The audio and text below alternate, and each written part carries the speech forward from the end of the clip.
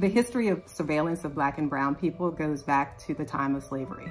We know in the 18th century in New York City, there were lantern laws that required black and indigenous people to carry around a candle after sunset if they were in the city. Going through the 20th century, surveillance tactics continued against black and brown people. J. Edgar Hoover, as director of the FBI, required that all black college students be surveilled. In the mid 80s, the DEA instituted Operation Pipeline to stop black and brown drivers and to question them and potentially detain them based on a fight against the war on drugs.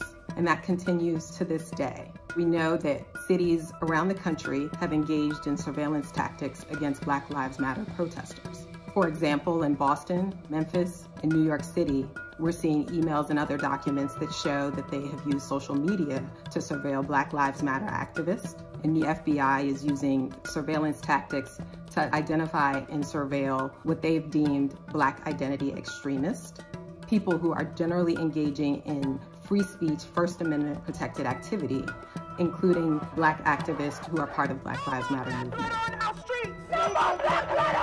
When we see governments, including the FBI and local governments, employing surveillance techniques, we know that black and brown communities are more likely to be targeted and are more likely to suffer consequences, including being arrested, being detained, and even being killed. We must listen to the voices of protesters. We must listen to the changes that they are demanding. Stopping law enforcement's use of facial recognition technology is one step that we can take.